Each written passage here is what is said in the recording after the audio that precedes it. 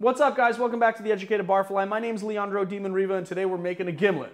Now, if you guys have been paying attention to this channel from the beginning, which I know some of you have, you'll know that we did a gimlet before, but that gimlet was a more modern interpretation, and today I want to do a more traditional interpretation. There is a lot of information on the gimlet. The history is very long and uh, convoluted, so I'm not going to get into the whole history here. If you read the show notes, I have taken the liberty of sort of writing about all of the players, but what I will say that is that the first gimlets were actually a stirred drink that didn't um, actually have lime juice in it. It had lime cordial. The lime cordial that was being used was created by a guy named Lauchlan Rose in 1867. It was called Rose's Lime Cordial. You can still get it today. Unfortunately, today that product is laced with tons of um, chemicals, and so I decided not to use it. Instead, we made our own cordial to sort of equate that uh, Rose's Lime Cordial. So if you look at the uh, link above, then you'll be able to click it and you'll we can then you can learn how to make this. So this is house made lime cordial, which I'm pretty proud of. I did a pretty deep dive on the internet to figure out how to kind of make it and read about it from a lot of authorities in the bartending world. Um, go to that video, learn how to make it, and then we can make this cocktail together. So the first thing we're gonna do is gonna be really simple, guys. The first thing we're gonna do is just do doing half an ounce of lime cordial. And then we're doing two ounces of Tanqueray 10. Uh, I picked this gin specifically for its flavor profile and how that would match with the um, the uh, cordial that we put in the glass. So if you're going to switch this out, just keep in mind that this is very kind of pretty juniper forward, but it's got a lot of um, it's got a lot of botanical elements, but it also is pretty citrusy.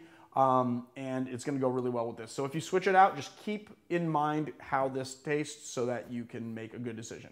The Tanqueray Malacca gin, that is actually that the limited release would actually be a good choice for this as well, I think. Um, and then we're just going to add our ice and stir.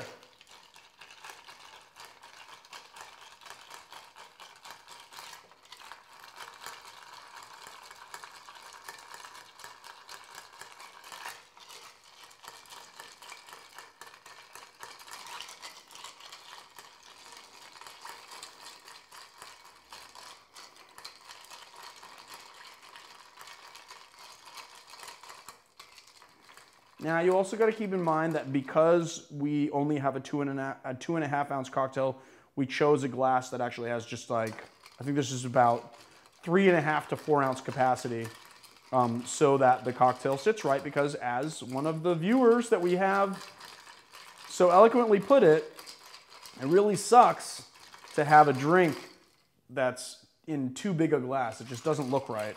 So it's good to make sure that you pick your glassware properly. That looks nice and chilled and combined. And then we're just gonna pour.